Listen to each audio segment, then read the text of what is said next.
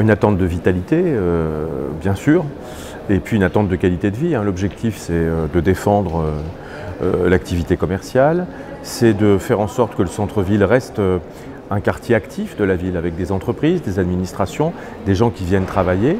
L'idée, c'est aussi que ce soit un quartier où l'on habite. Dans toutes les grandes villes, quand on lève le nez, euh, on voit dans les étages que souvent euh, il n'y a personne, il n'y a pas de logement, il n'y a pas d'habitants, euh, c'est vide. Voilà. Donc l'idée principale, c'est déjà la vitalité de ce centre-ville. On a créé une SEM, une société d'économie mixte, qui peut acheter les immeubles et les réaménager. Dans cette SEM, on a des partenaires financiers que la démarche de vitalité commerciale intéresse. Mais on a aussi trois organismes de logement social qui vont nous aider à développer de l'habitat dans les étages et à faire en sorte d'ailleurs que euh, cet habitat étant du logement social, on participe aussi à la mixité du centre-ville. Puis le deuxième impératif, à côté de la vitalité, c'est évidemment la qualité de vie, c'est-à-dire euh, l'impératif écologique qui doit se traduire en centre-ville aussi. Donc c'est euh, un programme de plantation dans les grands axes historiques qui le permettent, qui a été inscrit d'ailleurs dans le plan de sauvegarde et de mise en valeur du site patrimonial remarquable qui est en cours d'achèvement puisqu'il va être adopté avant la fin de l'année 2019, c'est euh, le développement des mobilités douces. On a un objectif de doublement de notre ensemble piétonnier, avec sûrement d'ailleurs à cette occasion une opération de, démocratie locale, puisque l'objectif c'est d'imaginer deux, trois, peut-être même quatre scénarios différents de développement de l'ensemble piéton, de le soumettre à la discussion, au débat et au vote des citoyens. Donc euh, euh, l'idée c'est aussi bien sûr que chacun s'implique dans le centre-ville. Voilà, les anciens sont fiers de leur patrimoine. Ils sont fiers de la place Stanislas, du Palais des Ducs de Lorraine, euh, de monuments de l'Art Nouveau.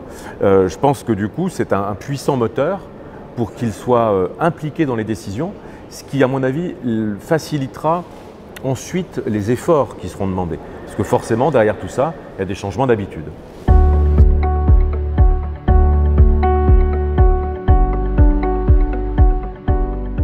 Alors, on a engagé en 2018 euh, un travail avec l'Université de Lorraine sur la transition écologique. Une année euh, de débats, de forums, euh, de rencontres de quartiers, d'appels à projets des habitants, des entreprises, des associations. Et on a abouti à une feuille de route, Nancy 2030, avec 30 objectifs pour réussir la transition écologique à Nancy. Ensuite, cette feuille de route, elle est déclinée très concrètement en programme opérationnel à trois ans. Donc là, on déroule un programme 2019, 2020, 2021, 90 projets, un tiers des projets viennent des habitants et ça concerne tous les quartiers. Euh, on organise par exemple euh, un oasis urbain sur une, place qui s'appelle la place de la Croix de Bourgogne, qui est dans euh, l'ouest de Nancy, dans un quartier résidentiel.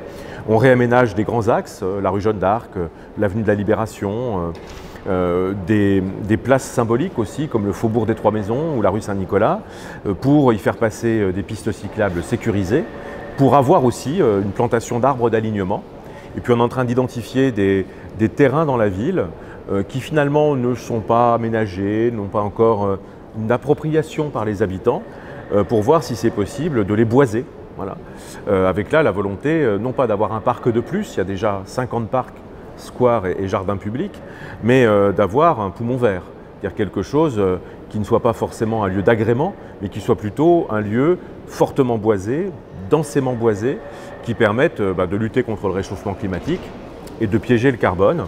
On a une évolution aussi dans nos écoles et euh, euh, les premières écoles concernées l'ont été dans les quartiers et pas au centre-ville pour retirer le bitume, retirer l'asphalte et à la place aménager des espaces verts, euh, des potagers, planter des arbres fruitiers, bref, mettre plus de nature en milieu scolaire pour que la communauté éducative puisse facilement finalement sensibiliser les jeunes générations aux défis environnementaux.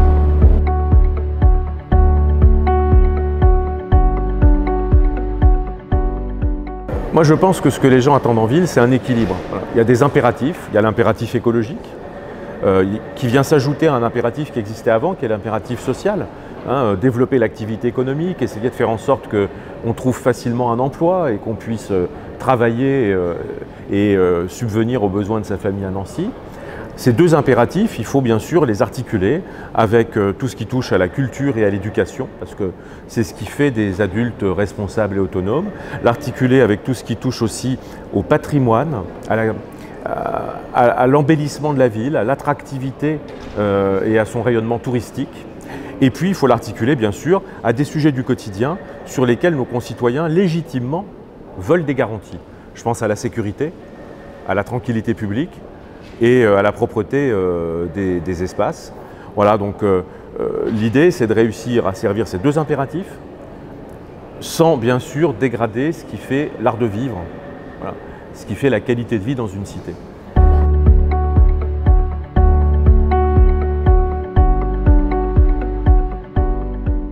Nancy avait les compétences d'une métropole avant d'être métropole, puisqu'il y, a une tradition intercommunale à Nancy qui est très forte, hein, euh, euh, qui a 60 ans euh, cette année, avec un district urbain, une communauté urbaine, et, on est dans les métropoles, celle avec Brest qui est la plus intégrée. donc il faut déjà imaginer l'étape suivante. Et l'étape suivante, c'est pourquoi pas une commune nouvelle avec une architecture qui donne un vrai pouvoir de proximité euh, aux, communes déléguées, un peu sur le modèle euh, euh, de Paris, de Lyon ou de Marseille avec les, arrondissements. Et puis c'est surtout d'avoir un espace métropolitain qui grandisse.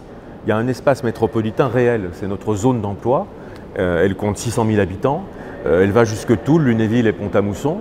Je pense qu'à un moment donné, il faut que la métropole légale corresponde à la métropole réelle. Euh, notamment sur les questions euh, de SCOT, d'urbanisme, sur les questions de politique de l'habitat, de développement économique, d'attractivité et de tourisme, sur les questions évidemment de mobilité, de déplacement.